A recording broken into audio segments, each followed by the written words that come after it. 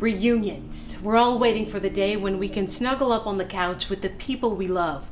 One family says they've been waiting five years, but COVID 19 might alter their plans. I just miss him. After five years apart, Susie Starks' brother David David was a primary caregiver for my mom. is finally coming home. My mom is 87. She's got COPD. His mom has counted the days. She was recently diagnosed with dementia and she has congestive heart failure. Um, when they diagnosed her in January, they gave her a prognosis of about six months to live. I want David to be able to see her.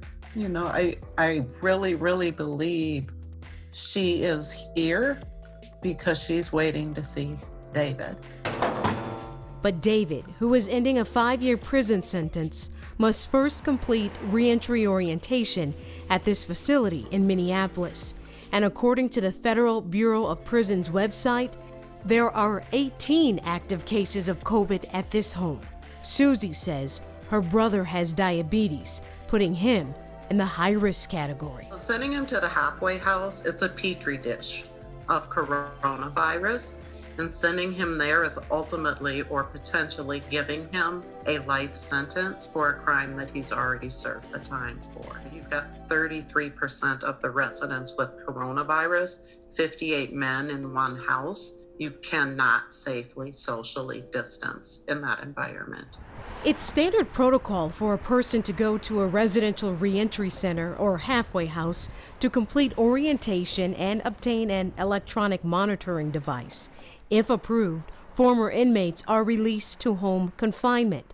After a home inspection via FaceTime, the Starks say David was approved, but Susie says a halfway house representative told her they never received any paperwork. Nobody has the approval letter for David's home confinement except his case manager in Duluth and the United States Probation Office. And I'm afraid if they sent him there, I've had I had had coronavirus. My daughter had it. It took me two weeks to get better. I don't know how long it would take him to get better or if he would get better. I mean, this isn't the flu. People are dying. And whether he's coming out of prison or not, this is a human being. A son who has waited five years to hug his mother. She's in assisted living, so he won't be able to go in and hug her. But to be able to do a window visit with her, um, I know that's what he's so looking forward to. And that's all my mom can talk about is when she can see David. David is scheduled to be released Monday at 8 a.m. His case manager was unable to comment. We did leave messages with the Federal Bureau of Prisons, but we have not heard back.